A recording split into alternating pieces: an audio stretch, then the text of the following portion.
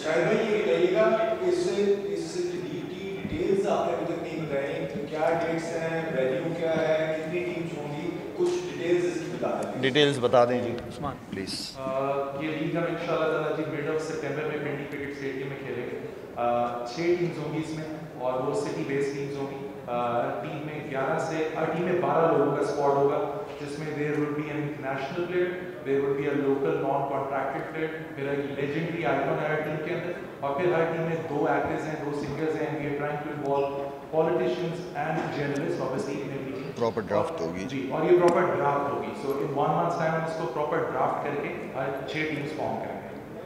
Success क्या है? यही है कि आप आप जो अचीव करना चाह रहे थे वो आपने अचीव किया कि नहीं किया? वो सबसे इंपॉर्टेंट चीज़ है। और अचीवमेंट यही है जिस तरह मैं कह रहा हूँ कि जिस जिस, इस बात को मैं बार बार रिपीट कर रहा हूँ सभी रिपीट कर रहे हैं, क्योंकि कॉज बड़ा है। इसके पीछे अगर वो चीज़ मेरे लिए है तो मुझे डजेंट मैटर कि बिज़नेस में नुकसान हो जाए, लेकिन वहाँ पे फ़ायदा हो। मैं इस चीज़ को इस तरह देखता हूँ। आप जब किसी भी बिज़नेस के अंदर जब आप ऊपर वाले को लेके चलते हो, साथ में तो अल्लाह ताला ऑटोमेटिकली उसके अंदर बरकत डालता है। ये मेरा एक बड़ा बड़ा स्ट्रॉन्ग बिलीव है। मैं कोई इतना अच्छा मुसलमान नहीं हूँ, लेकिन मेरा बड़ा स्ट्रॉन्ग बिलीव है कि ऊपर वाले के साथ कारोबार करना आसान है बनस्बत दुनिया के लोगों के साथ। तो इसमें मेन मकसद हमारा वही है कि हम उन लोगों को अपने पाँव पर दोबारा खड़ा करना चाहते हैं कि जिनकी ज़िंदगी, ज़िंदगियाँ थी, लेकिन अब वक्त के साथ चीज़ें मुश्किल हो जाती हैं लाइफ मुश्किल हो जाती है फाइनेंशियली तो हम उन एथलीट्स को उन आर्ट आर्टिस्ट को अपने पाँव पे दोबारा इंशाल्लाह खड़ा करना चाह रहे हैं फाइनेंशियली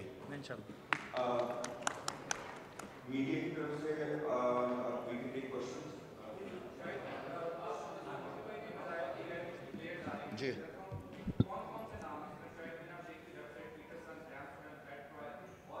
देखिए ये पहला सीज़न है। अ, मेरे लिए पहला सीज़न है। अ, मैं कोई बहुत बड़ी कमिटमेंट नहीं कर सकता कि मैं कोई ए बी डी डिविलियर्स को लेके आ रहा हूँ या आमला को लेके आ रहा हूँ। इंशाल्लाह वो भी आएँगे। ये मैं उम्मीद करूँगा कि वो भी आएँगे।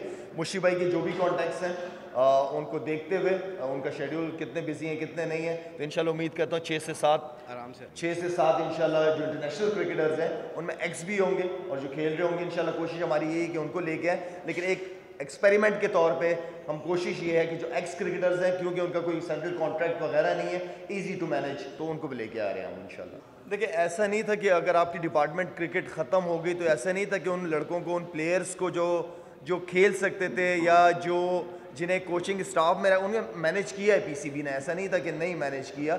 लेकिन डिपार्टमेंट क्रिकेट को हर जितने भी क्रिकेटर्स के साथ मेरी डोमेस्टिक में बात हुई मैंने मुशी से अगर आप बात करें तो डिपार्टमेंट क्रिकेट को सब मिस करते हैं। डिपार्टमेंट एक बहुत बड़ी सिक्योर प्लेयर अपने आप को समझता है। और काफ़ी क्रिकेटर्स और अच्छे क्वालिटी की क्रिकेटर्स सामने आते थे। डिपार्टमेंट सारी ज़िंदगी हमने डिपार्टमेंट क्रिकेट खेली है।